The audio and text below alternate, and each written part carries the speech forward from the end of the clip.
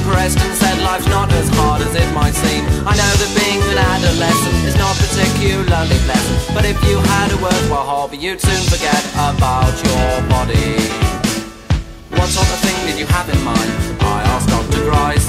Well, anything like stamp collecting or breeding fancy mice. Now that's something that I used to do. It helped me when I was feeling blue. They're economical to keep and they will help you to escape from misery. I thanked the doctor and I went to the Citizen Advice Bureau. I asked about the National Mouse Club and they gave me all the info. I wrote to the NMC and said I'd join if they'd let me. Two days later, if I remember, they wrote back I was a member. In the yearbook was the address of a man who lived near me An experienced breeder and former president of the NMC I rang and asked him if I could come and see his fancy stuff He said of course you can man, come once So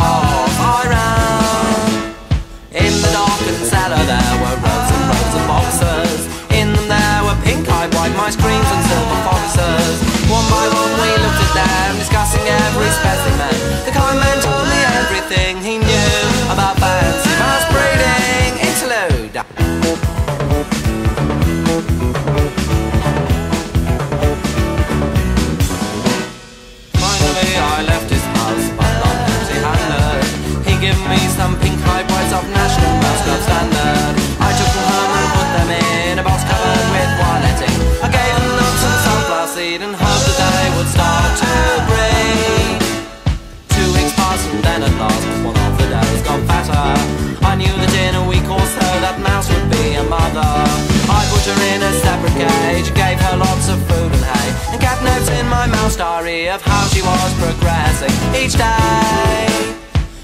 Was I of the pregnancy, I felt I was the father. I must admit, but I couldn't help it, I began to fall in love with her. Oh, many hours we spent together while she prepared for her litter. I knew that she should have a name, and instantly I thought of Jane. Three days later, Jane gave birth to seven baby mice. They were pink and hairless, but me and Jane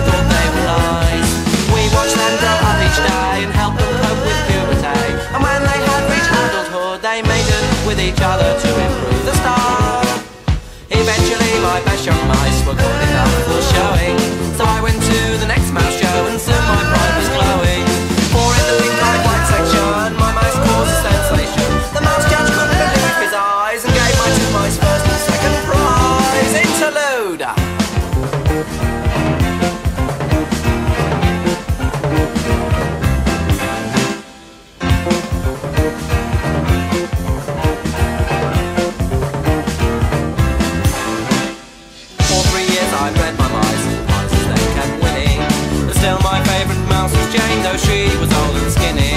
One cold night at feeding time, I opened her box just in time to see her lying in the cage. She was dying of old age. I picked her up and wrapped her in a piece of cotton wool. She was still alive,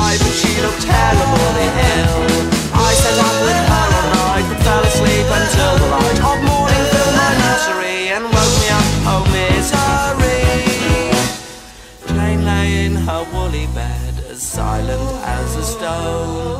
For she had passed away that night, now I was all alone.